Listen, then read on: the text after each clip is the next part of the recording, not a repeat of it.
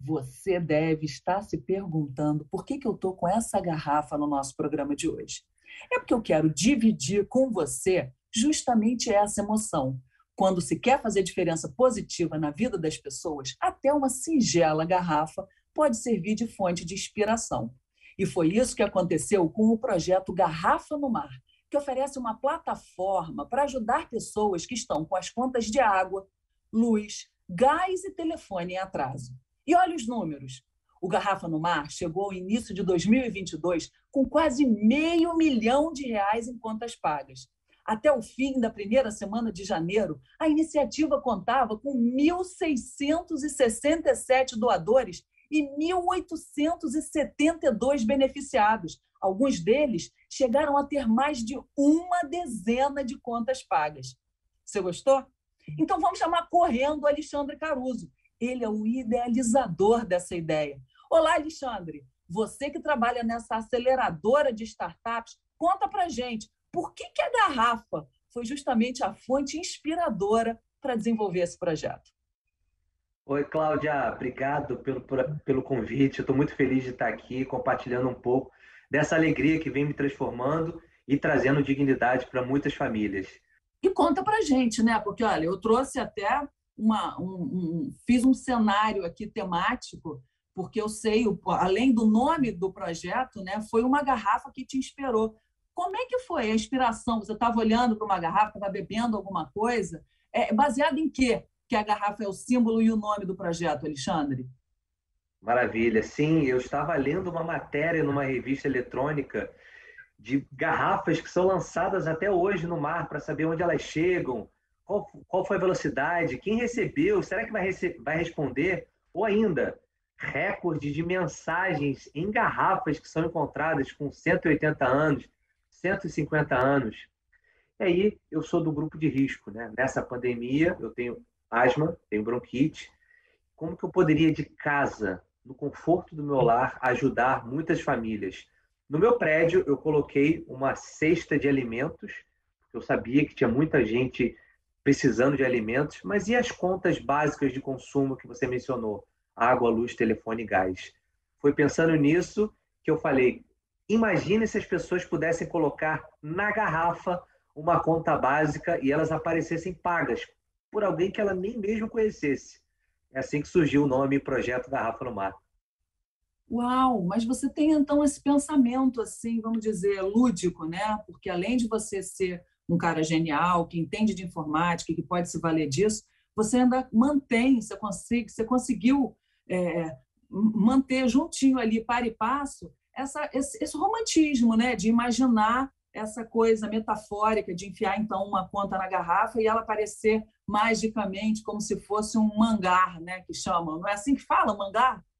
Sim, é, é, é, essa figura de, de, de garrafa, ela realmente remete a esse pedido de ajuda também, né, historicamente, né, em que as pessoas colocavam essas mensagens na corrente para mandar mensagem para outras pessoas.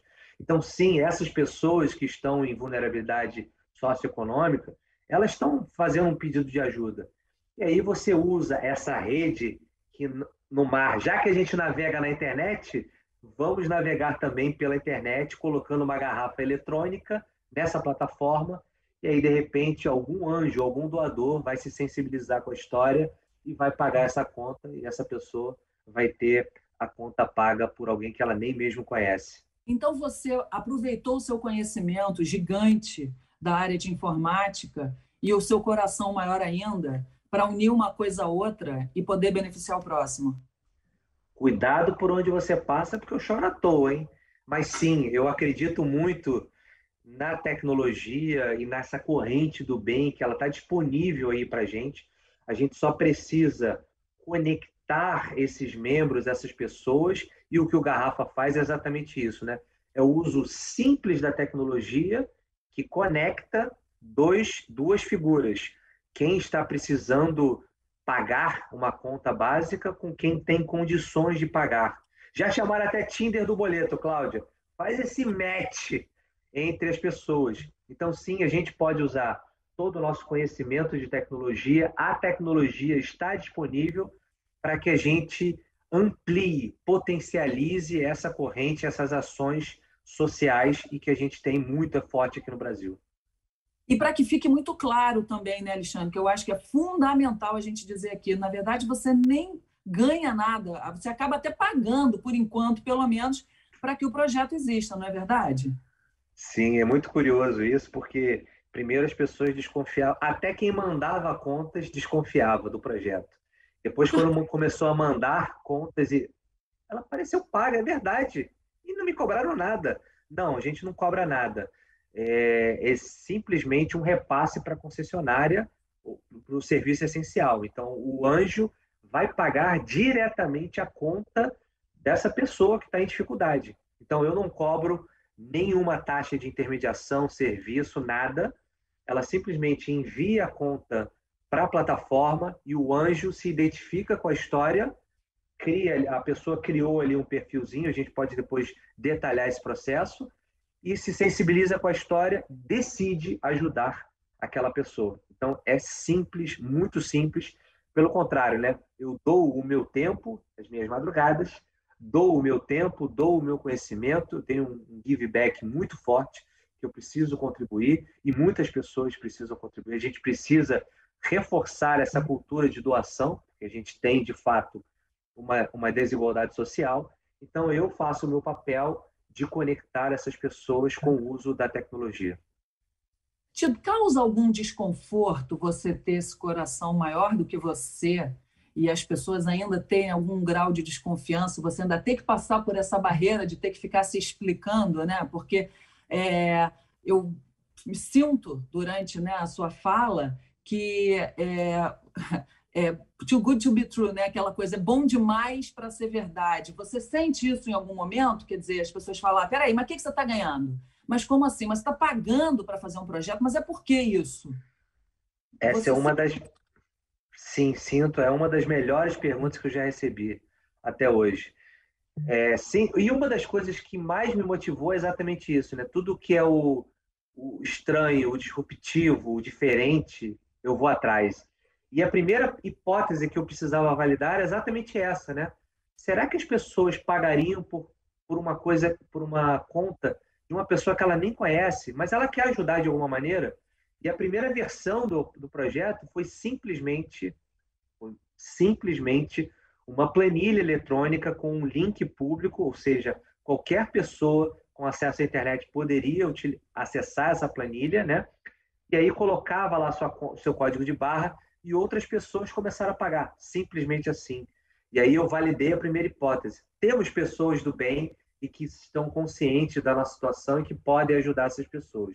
E aí e como evoluindo. Você fez divulgar? Como que você fez? Porque você teve uma ideia genial, financiou do próprio bolso, saiu do seu conhecimento, do, do, do, seu histórico, que eu inclusive quero saber como é que você chegou nesse lugar maravilhoso, né? De hoje em dia ser capaz de desenvolver o Tinder da bondade, o Tinder do.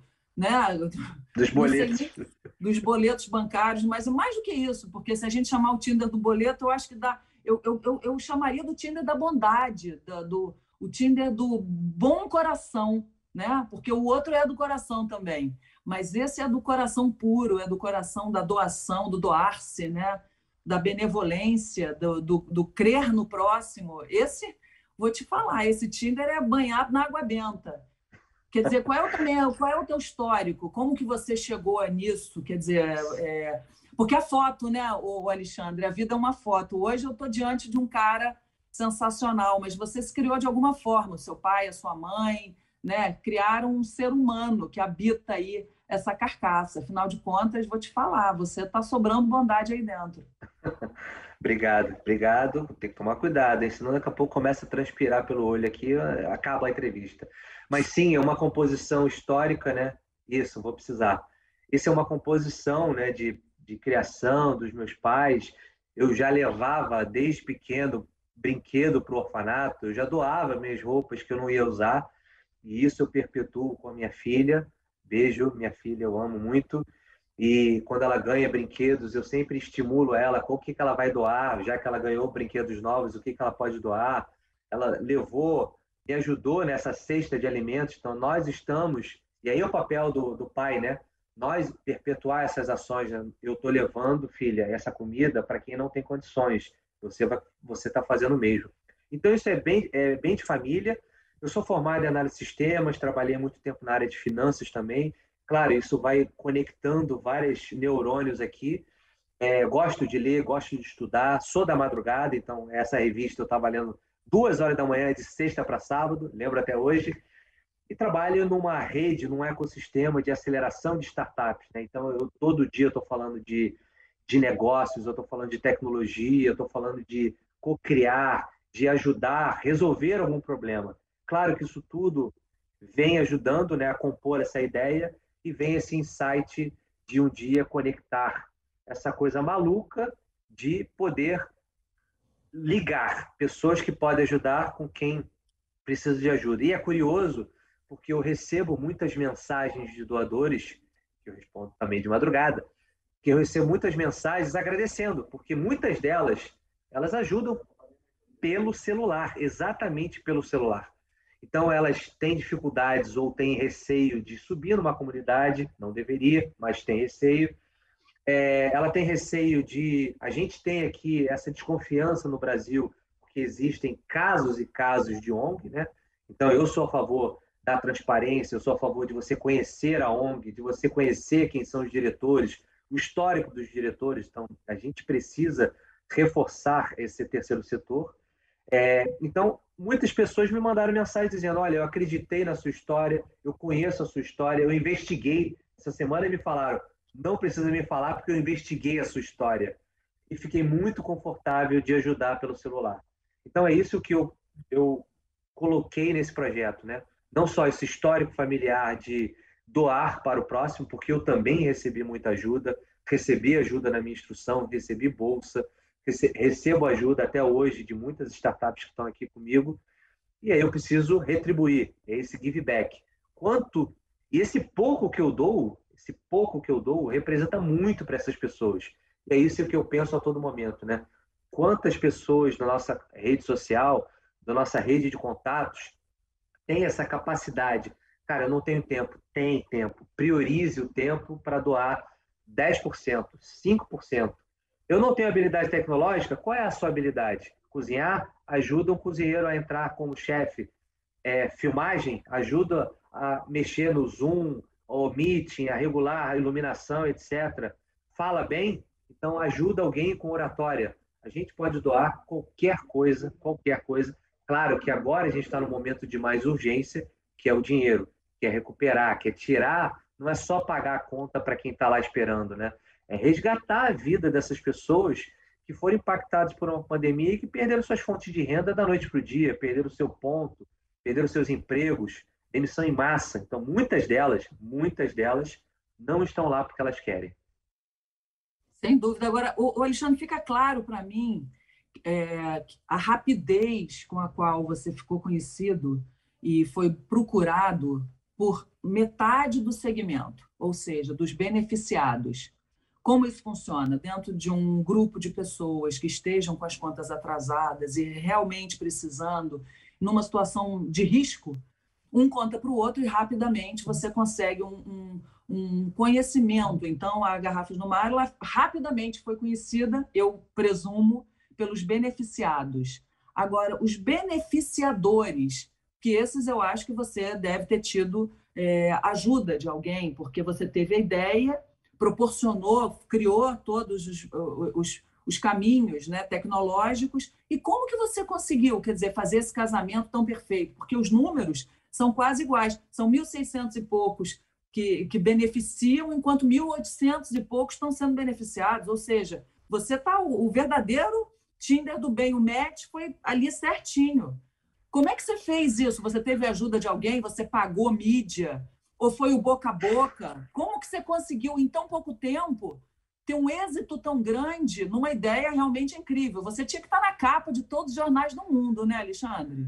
Obrigado, Cláudia. É, bom, é o seguinte, né? A gente tem dois grupos bem distintos, bem definidos, né? O primeiro é são 22% da população que estão devendo essas contas, né? E, e essas contas comprometem 46% das despesas dessas famílias. Então, é uma boia voltando para o nosso mar, É uma boia que aparece no meio do oceano que todo mundo quer ficar em cima dela. Porque isso é fácil de distribuir e de ver que as pessoas realmente precisam, né? Então, gastando o cartão de crédito 21,6 bilhões, bi, B de bola, bilhões foram gastos comprando comida com cartão de crédito. As pessoas estão acumulando, então é fácil. Para o lado dos doadores, realmente é um pouco mais difícil. Primeiro, porque tem esse ceticismo de achar que quanto ele está ganhando, ele está se autopromovendo. É... Não acredito nessa história, é muito bom para ser verdade, como você falou. E aí, quando as pessoas. E é óbvio, né? Começa com a rede do bem, a rede próxima, a rede com que eu circulo. A rede das startups que estão aqui comigo, a rede dos meus amigos. Tem até brasileiros, brasileiros fora do Brasil, doando para vários estados aqui do Brasil. Então, começou com meu irmão que mora no Japão, depois foi para Austrália, Nova... Austrália, França, Estados Unidos, Canadá, pessoas transferindo dinheiro para mim via PayPal e falando, Caruso, eu acredito na sua história, paga quantas contas você quiser. Então, a velocidade é completamente diferente, né? A gente tem aqui uma urgência clara de ajudar a resgatar essas pessoas. E aí eu não digo ficar pagando conta para essas pessoas. É aquela conta que vai ser cortada, aquela conta que vai impedir dela ter um crédito, nanocrédito, microcrédito, mas ela está devendo numa concessionária. Então a gente paga aquela conta e pronto. Eu não vou ficar pagando essas contas para essas pessoas. E do lado dos doadores, é muito quem tem o seu espírito, quem tem o meu espírito, quem consegue enxergar essa necessidade gritante que a gente tem aqui de desigualdade, né? A gente está falando de 119 milhões de pessoas em, em, segurança alimentar, 13 milhões desempregados, 65 milhões negativados.